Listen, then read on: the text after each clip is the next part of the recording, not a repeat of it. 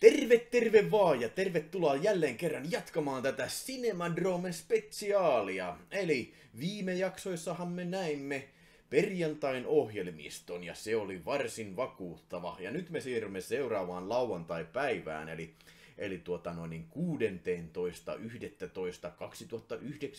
16.11.2019. Ja sehän päivä starttasi vauhdikkaasti tällaisella elokuvalla – eli Herschel Gordon, Herschel Gordon Lewisin The Wizard of Gore-leffalla. No valitettavasti minä itse en päässyt katsomaan tätä filmiä, tai pääsin katsomaan, mutta tämä filmi jäi kesken. Ensinnäkin siitä syystä, että me oltiin Raulin kanssa täällä me, mun tykönä ennen tätä leffafestaria ennen kello 16 ja me nauhoitettiin Raulin kanavalle pari videoa, ja sitten kuinka ollakaan, tehtiin ne vähän ruokaa ja kaikkea tämmöistä, niin kuinka ollakaan, niin huo- huomasimme, että tuota, no, niin kello alkaa olenkin uhkaavasti jo varttia vaille 16, joten siinä tuli kiire soittaa äkkiä taksia. Vieläkä, vieläpä niin kuin kävi näin, että Mats, Mad Mats, Mats Helge oli vieläpä mun nimen takana niin kuin se lippu, että niin kuin, se soitti, että missähän vittu sä oot, tai laittoi viesti, että missähän sä oot. Mä sanoin, oh shit, nyt on kiire. Mä joudun tekemään semmoisen typerän videon niin kuin Mad Maxille, sitten se, se pääsi ovesta sisään. No, ei siitä sen enempää. Mutta onneksi Mad Max myös tietää hyvän leffan päälle ja Mad Max katseli sitten jopa kokonaan tämän Wizard of. Siis kyllähän me saavuttiin sinne, me tultiin vaan myöhässä ja sitten se oikeastaan tämä Wizard of Gore. Ja hei, mulla on tässä Blu-ray, olen nähnyt tämän el- elokuva ja se oikeastaan ei ehkä siihen niin kuin kellon aikaan tuntunut hyvältä ratkaisulta, että olisimme katsoneet, katsoneet tämän Wizard of Gore, mutta niin kuin, katsotaan nyt mitä Mats Helgellä, eli aikaisimmista ohjelmasta tutulla Mad, Mad Matsilla on sanottavaa tästä mestarillisesta teoksesta nimeltä The Wizard of Gore. Jeps, morjesta vaan.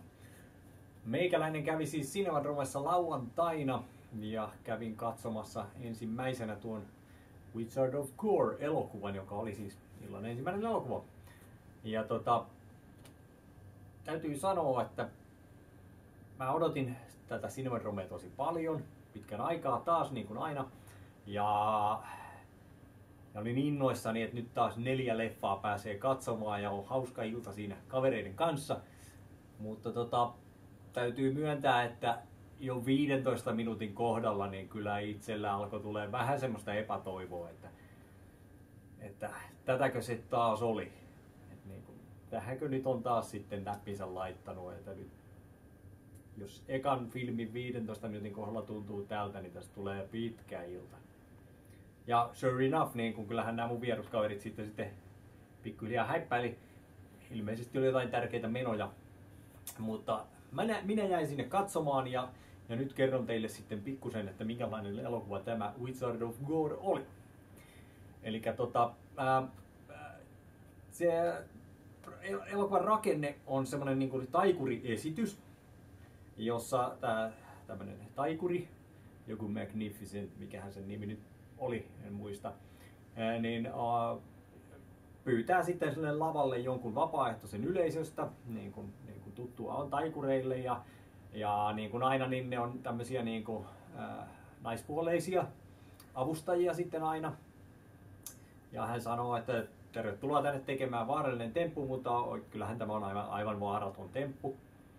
Ja sitten hän sinne tulee nainen ja ää, Muun muassa tämä perinteinen naisen kahtia sahaaminen on, on yksi temppu, mitä tämä tekee. Ja ää, hetken näyttää siltä, että tämä temppu menee niin kuin karmeella tavalla ää, väärin, koska alkaa verta roiskuamaan ja, ja, ja, ja nainen kiljumaan kauhuissaan.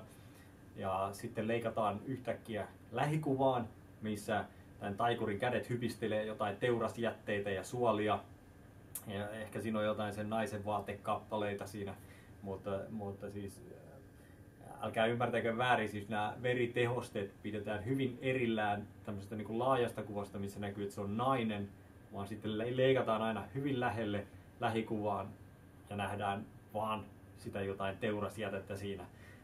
Kyllähän tästä nyt hyvällä mielikuvituksella aina, aina niin kuin katsoja siis tajuaa sen, että mistä on kyse. Kyllähän tässä tämä nainenhan tässä nyt makaa niin kuin silvottuna.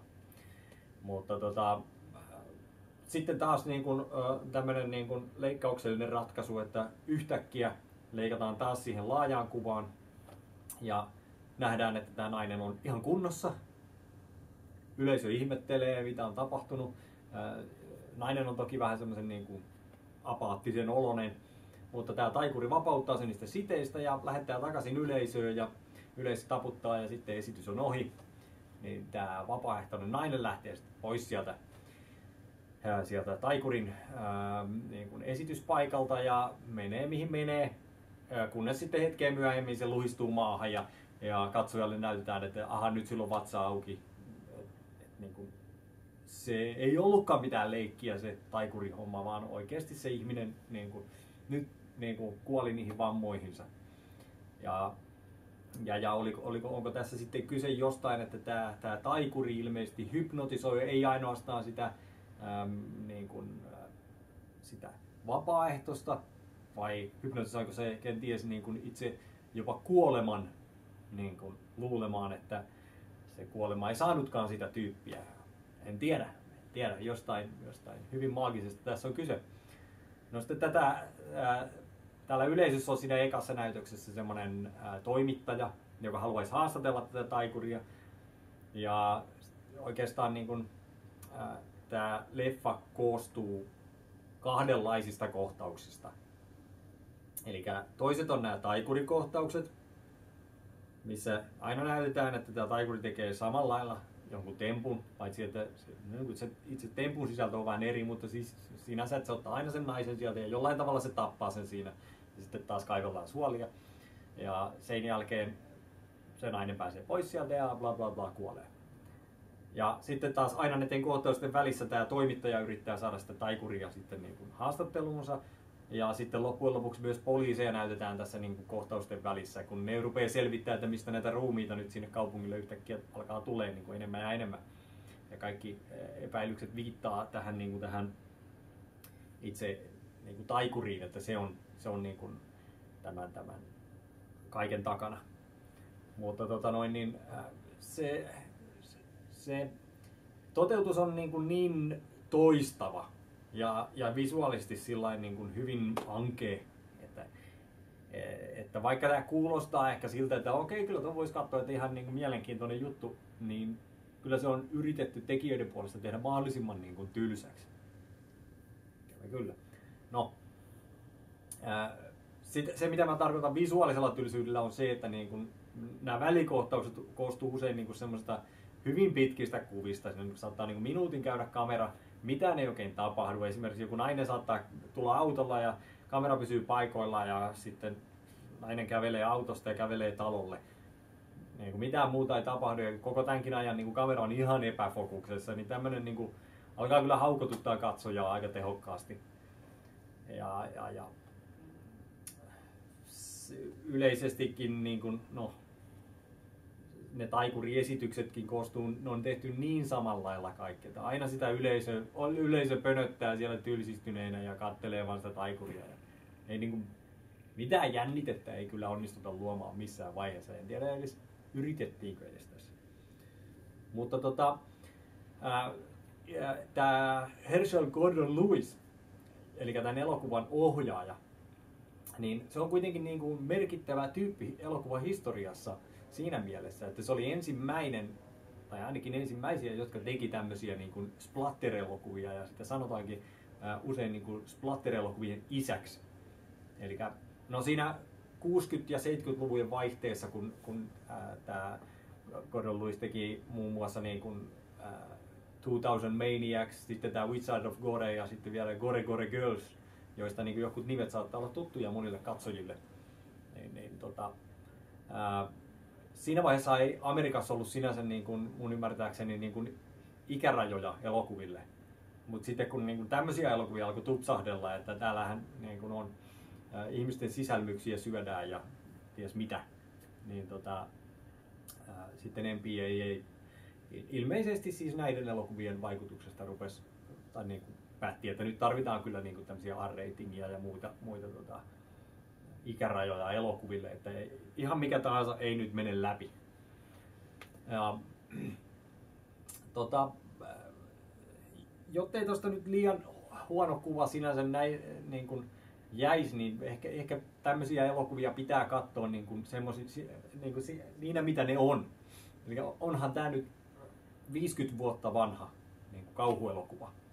Ja ehkä nykykatsoja, kun on nähnyt niin paljon kaikenlaista hyvin menevää ja hyvin upeasti toteutettua ja muuta myös niin kuin kore-elokuvien saralla, niin ei ole oikein reilua ehkä ruveta vertailemaan, vaan ehkä kannattaisi ennemminkin ajatella niin, että, että tota, ää, nämä elokuvat on ollut niin kuin esikuvia niille myöhemmille niin kuin kulttielokuville.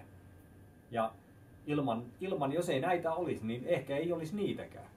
Jotenka niin kuin, kyllä, kyllä si, siinä mielessä näille äh, Herschel Gordon Lewisin elokuville ja muille tämän ajan niin kuin vanhoille klassikoille, joskin tylsille niin kuin nykykatsojan katsomena, niin pitää antaa kuitenkin niin kuin, niin kuin arvoa mun mielestä.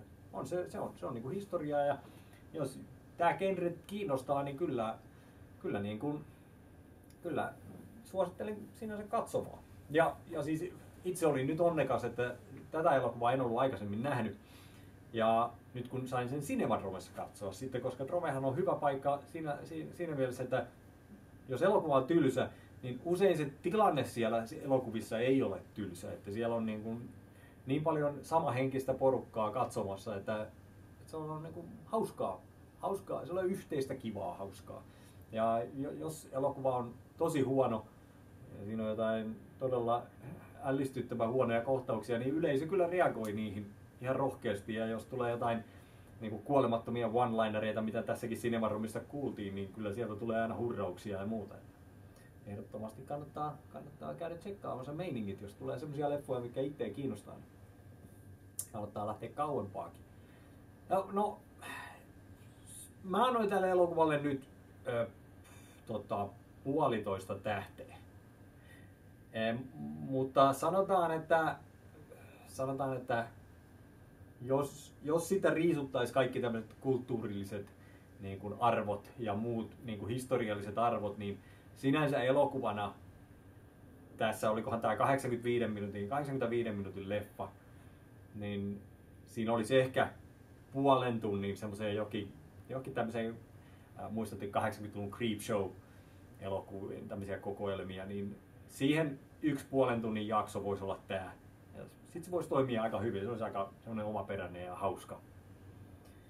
Mutta eh, kyllä tämä kova pala on niin ihan yksin sohvalla katsoo ja jos yrittää varsinkin niin olla räpläämättä sitten luuria siinä samalla. Tämmöisillä e, e, tota noin, niin terveisillä täältä päästä. Kiitoksia vaan Ville. No niin, kiitoksia paljon arviostasi, Mad Mats. Joudun ehkä turvautumaan apuun tässä myöhemmä, myöheisimmässä leffassa, joka sitten sattui olemaan Buddy Melt, joka sattuneesta syystä jäi sitten meikäläiseltä myös sekin katsomatta. Mutta hei, muistakaa, että seuraava Cinemadrome on 15. toista eli 15. helmikuuta vuonna 2019 ja silloin tulee kova ui ui ui matskua taas. Perhana sentää, siellä nähdään. Joo. Mutta hei, huomenna taas uusi arvostelu Cinemadrome katsauksesta. Kiitos.